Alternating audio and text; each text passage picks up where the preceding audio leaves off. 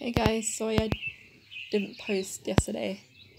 I was just really busy with my best friend and I didn't really do a get ready with me just, just because I was in a rush and um, she was already coming and stuff like this.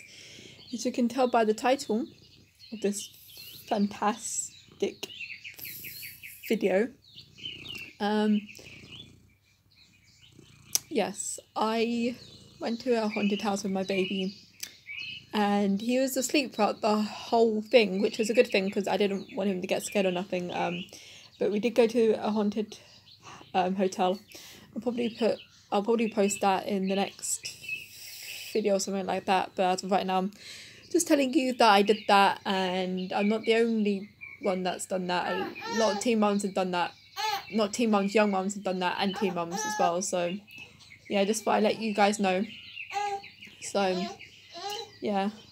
And poor Bubs had his uh jabs today, so he's a bit cranky. But yeah, hope you guys enjoyed this video. Please remember to like, to subscribe, and hit the bell so you can be notified whenever I post a video. Please remember to post positive and stay beautiful, and I'll see you guys tomorrow for my brand new video. Bye guys.